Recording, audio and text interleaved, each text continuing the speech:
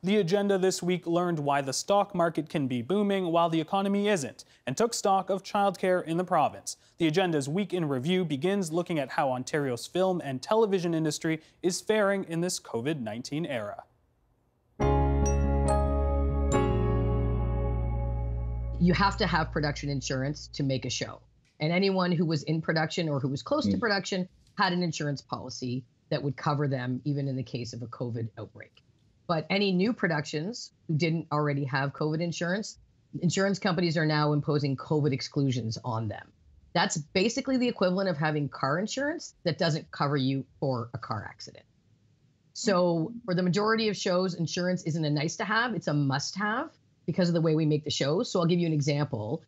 If you do not, if you have a COVID exclusion, and you try to go to camera and your star goes down, let's say we're talking about a big scripted drama, and your star goes down, and that star goes down for a couple weeks, you're shutting production down for weeks. And there's hundreds of thousands of dollars associated with that shutdown that can't be reimbursed.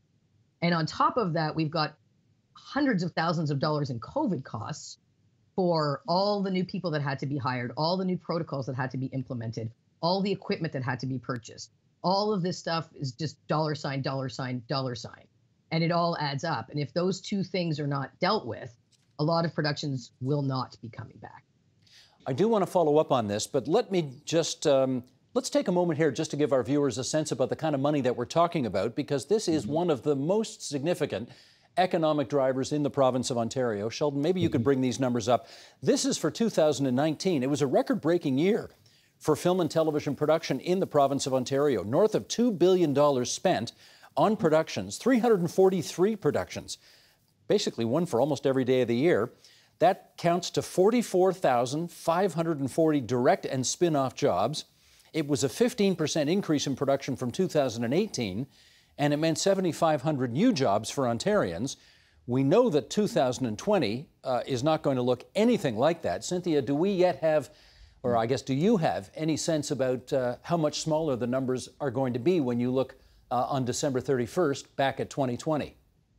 Well, they're not going to look like that, that's for sure. We know that between March and June, we lost seven, over $700 million in spending. So that money won't be spent this year. Um, we aren't as fast getting up to speed like we were. You said you mentioned, you know, we had 343 productions last year, almost one for every day of the year. Um, right now, we have 15 shows in that are shooting, so a big difference. At this time last year, we would have had 50 shows this week shooting, so uh, a more than 50% decrease. It does kind of depend on if we can find an insurance solution and how fast some of those productions can get back to work. Um, we are hoping to see a lot of people back to work by October, November, um, but it will be a greater than 50% decrease for sure. Okay, Alistair, I should give mm-hmm. you a chance now to come back on some of the points that Marla made, namely the issue of can you really get back into production if you can't get COVID insurance for your biggest stars, et cetera, et cetera?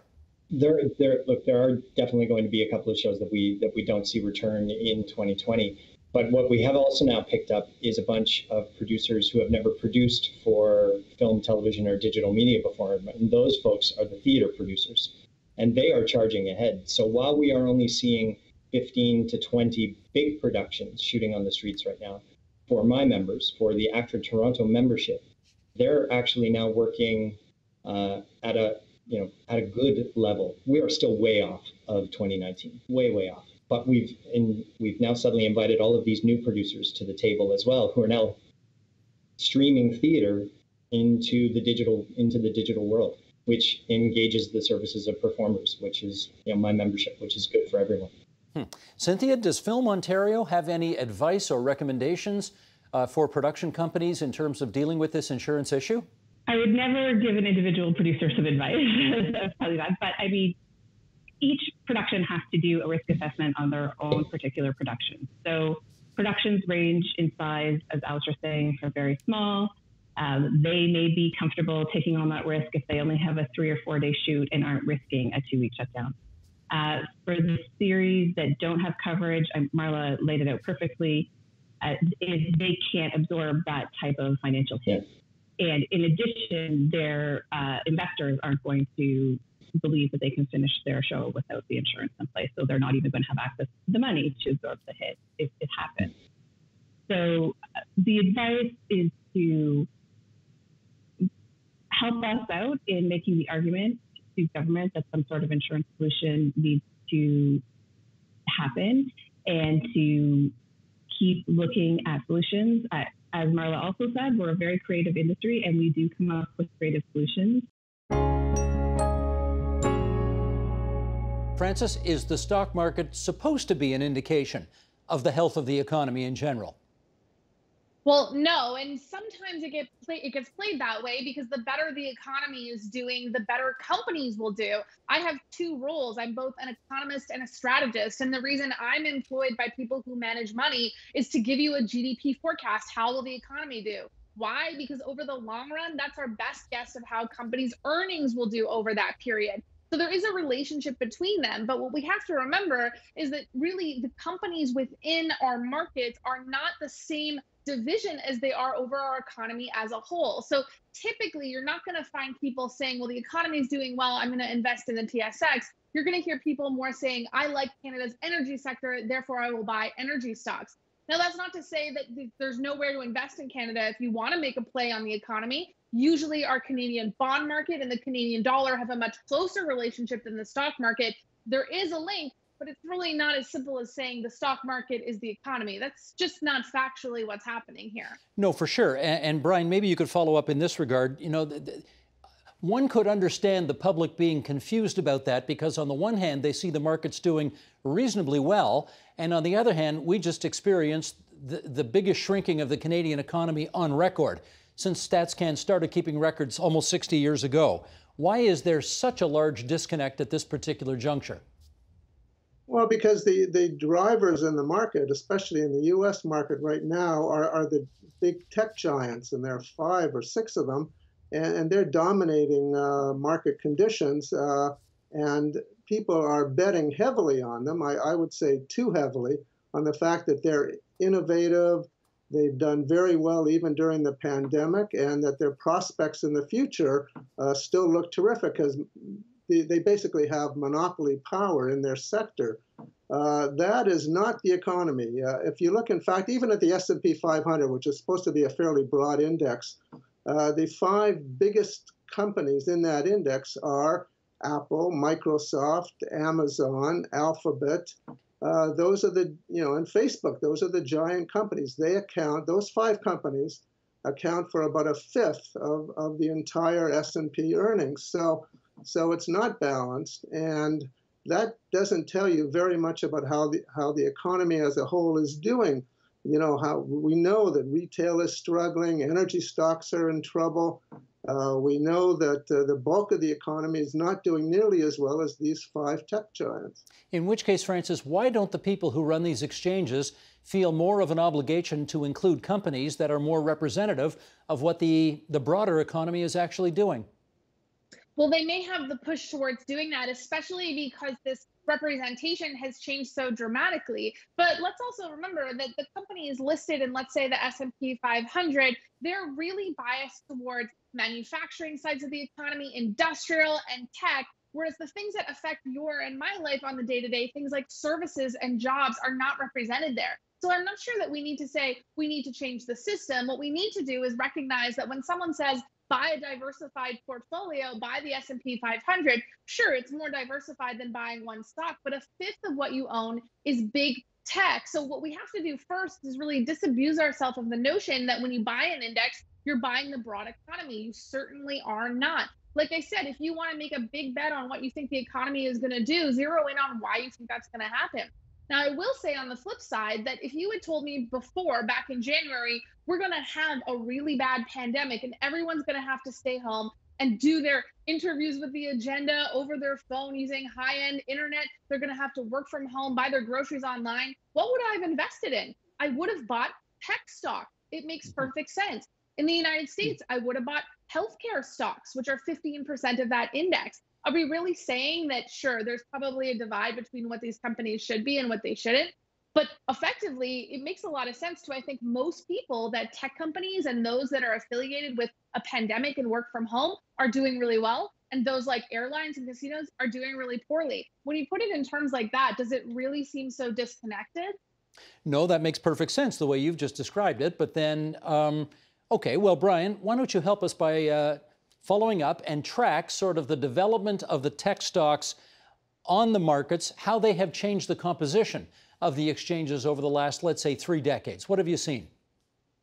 Well, it's really it's much more recent than that. I mean, we, we saw the tech boom in, in the 90s, uh, which collapsed.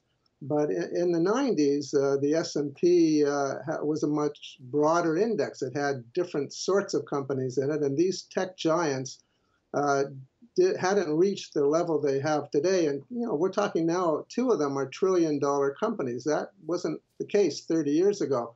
Uh, but over the last decade, they've increasingly become more and more dominant. And once they entered the, the Dow Jones index, they began skewing that index as well in the same way. But if you leave them out, then you're leaving out the key drivers of, of the current market. Uh, childcare largely pays for itself as an investment. And one of the things that's really interesting coming out of the, the sort of Quebec experiment, if we want to call it that, is that one of the significant results of it has been a significant increase in women's labor market participation and, and a concomitant decrease in levels of child and household poverty. So, as, as an illustration, um, in between 1997 and 2016, the labor force participation rate of mothers in Quebec of children aged 0 to 5 increased by 16 percentage points from 64 to 80 percent. And elsewhere in Canada, the increase was just 4 points from 67 to 71%. So we see that those kinds of public policy investments have significant impacts both on labor market participation, but also on the downstream effects. They're on taxation uh, levels increase. So governments get more money, including, hilariously, the federal government actually has done quite well out of the taxation revenue generated by women's labor market participation in Quebec. But we also see really important child development outcomes. So it's a system that, for every dollar invested, yields more than double in returns. Elizabeth, let's do another comparison, and this time not to a province like Quebec, which is not dissimilar from Ontario uh, in terms of size and makeup and so on. Let's do Northwest Territories. That's pretty different from Ontario. What did you find there when you looked at the NWT? You know, looking there, it's, it's a different place in Ontario and Quebec. Um, the same story is that it's a really good investment to, to put money, government money, into childcare. Specifically in the Northwest Territories, when we looked at it, it was actually a better deal for the government to invest in childcare than mining, diamond mining, one of their huge industries that people are very concerned about, spend a lot of time, political um, thought about. But actually, if they're going to put a dollar into childcare, it's going to be a better deal than a, ch- a, dollar into their mining industry. It's a pretty big deal. We, uh, you know, we do talk about this subject quite frequently on this program, as recently as just a few days ago when Armine Yalnizyan, who is, uh, of course, well-known economist and uh, Atkinson Fellow on the Future of Workers, uh, she and I talked about this, and uh, let's play a little snippet of that conversation, and then we'll come back and chat, okay? Sheldon, if you would. Childcare is the choke point on recovery and childcare is treated as a market delivered system.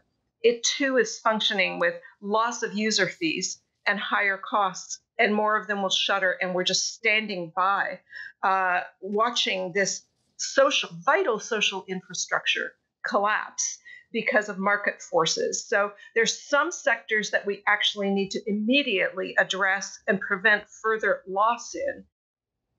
Carolyn, can I start by getting you to follow up on that? Why addressing childcare is so essential to a post pandemic recovery? What's the argument?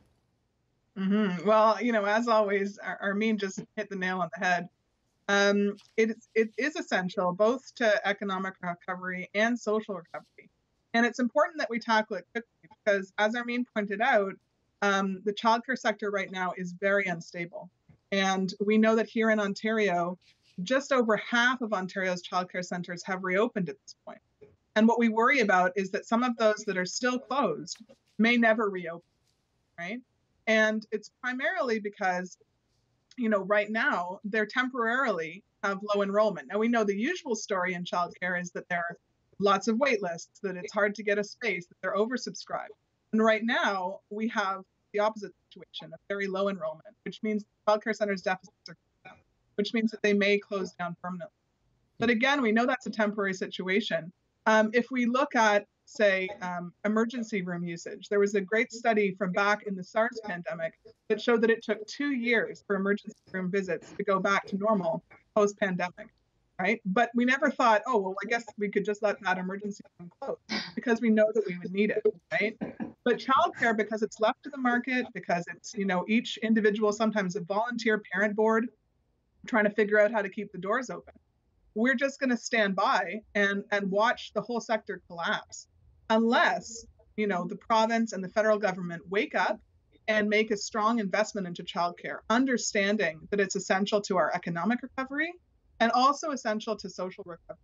Young children who have been uh, experiencing this pandemic, you know, have had their daily routines upended.